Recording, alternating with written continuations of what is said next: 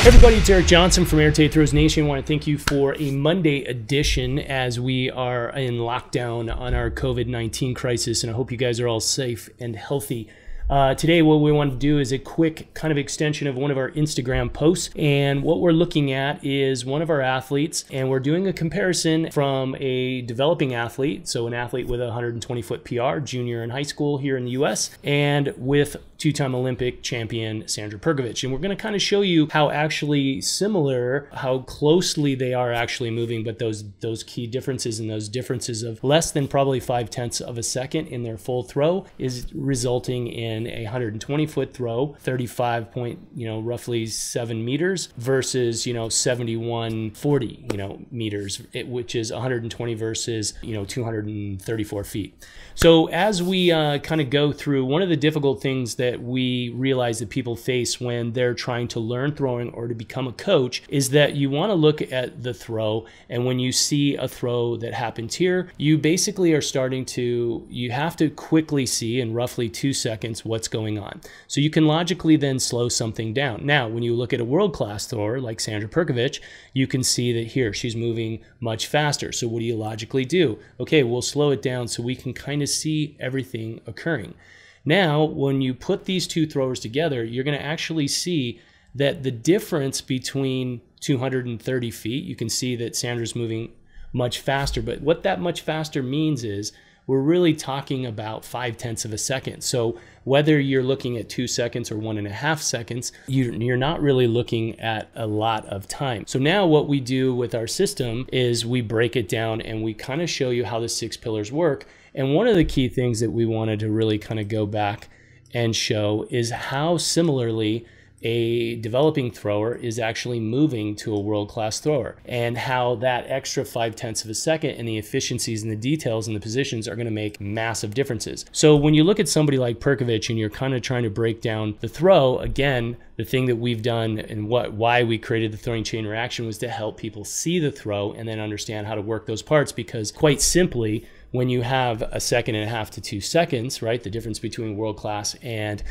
a developing thrower, there's just not a lot of time to work on things. So this is why we always break things down. And that's really the role of drills. Now, the thing that we're specifically focused on and trying to help athletes and throwers realize is that you do need to break those things down so that they're really easy to understand because they're unnatural. And in order to make those natural things become natural, you have to specifically work position. So that's really the whole basis of our throwing chain reaction system. So when we look at this, and I'll fast forward it here to um, the side by side.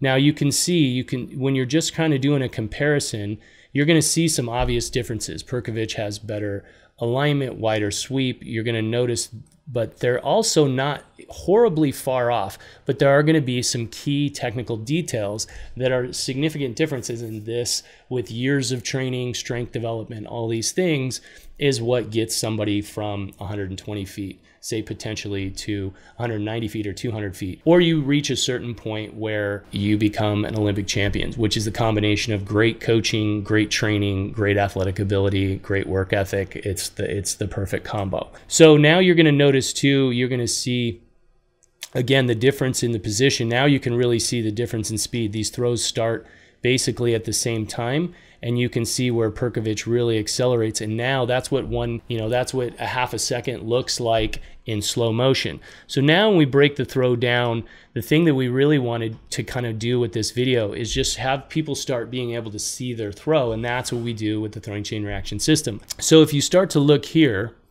you're going to see that once we, we, we break it together and we sync them up, so I'm going to go through, let's do this. Now we're going to go through and we're going to break down the six pillars. So you're going to notice what we're going to show you is just there's going to be key alignments. You're going to see different positions of the legs and the hips and the orbit, right? So we're looking um, we're looking at the orbit, we're looking at how, how the leg's situated, and we're actually looking at the hip position. But what we're also trying to point out is that this isn't that horribly different. And so one of the things that we want to help and kind of help motivate throwers and coaches to realize is it's those key details that are going to make all the difference. Now, when we look here and you see as we move into our pillar two, you're going to see again those same things we're talking about. Now we're going to look at here the athlete is starting to bring the chest into the throw. Here the athlete is taking a longer path. Um, you're looking at similar positions here, but you see how Perkovic has the hips shifted, and this athlete is going to start rotating in. So this is what we call setting up maximum power. So she's setting up maximum power. This athlete's learning to set up maximum power.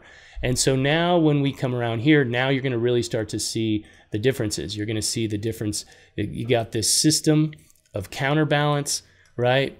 And you're going to really notice this. Here's a big subtle thing. Look at how this athlete's holding the discus. Now, this is something clearly we've worked on with this athlete, but this is going to start to affect the orbit considerably. And this is something that why learning how to carry the discus properly is going to be really significant. So here we have the we have this, and so when we look at our system and we teach a chain reaction, what we're showing is that a lot of small details will affect bigger details, and that's the whole thing: action reaction, throwing chain reaction. So now when we look and we take we go to our pillar. So here's our three, right? You can see where we've dropped in and then watch when we go to pillar four, this is where everything really changes. Because of that hand carry position, the orbit's off, the athlete's eyes are down. We've got too large of a, of a space here. And so you're going to see how actually Perkovic is actually getting her head, her hips ahead, right? You can see the hips are here. Look where the knee's at and look where the arm's at. And look at the difference here. We have the the shoulders and the hips kind of more mashed up and you can clearly see that the twist and wrap portion is where this throw really starts to change but again we looked in the beginning and we could see those those things where it looks close and it is still close so now when we go here look at what we're doing where we call this locking down power so again look at the vertical line so Perkovic is going to be able to rotate through here. This athlete isn't too bad, but look at the difference in the height of the discus, right? So now you can really see this is here, this is really moving through. Look at the look at where the upper body is. Remember we talked about this back in pillar 2. You see that upper body is moving ahead. So where are we going to see it? It's going to be moving ahead early in the finish. So even though she's moving ahead, Perkovic is starting to move a lot faster. And this is where you're going to really see the difference between the two throws, right? So now you can see here um, the athlete again working on the block, coming through. But look at the look at the rotation and the hip position here. It's significant, and the discus is higher and being released more out in front. And this is what you see is the difference between a developing thrower at 35 and a half meters versus a two-time Olympic champion with a PR of 71.50 roughly. So 71.41. Okay.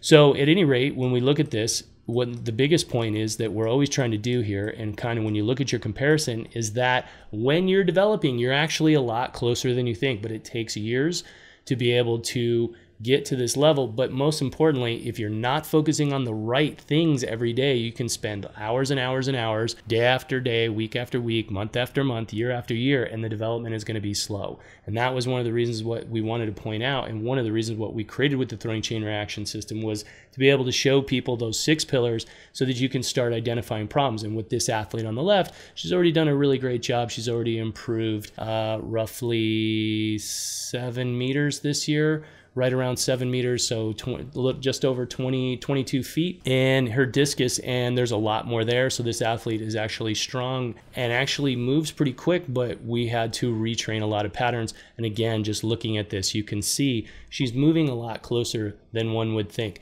So the point of today's video is to give you a little motivation don't give up. Learn to make sure that you're focusing on the right things, learning the right things. That's going to make all the difference in the world. And that is going to help you throw farther faster. That's one of our trademarks with the throwing chain reaction system is big results quick and we hope the same for you. So hopefully you enjoyed today's video. Be sure if you'd like to learn more about the throwing chain reaction system, click the link in the description. We have a free mini course on rotational throws that kind of goes through the six pillars to give you more information to help you understand your training. Keep an eye out. If you'd like to dive in deep, we have the throwing chain reaction system itself. And if you like today's video, be sure to give us a thumbs up, hit that subscribe button, and we will see you guys on the next video.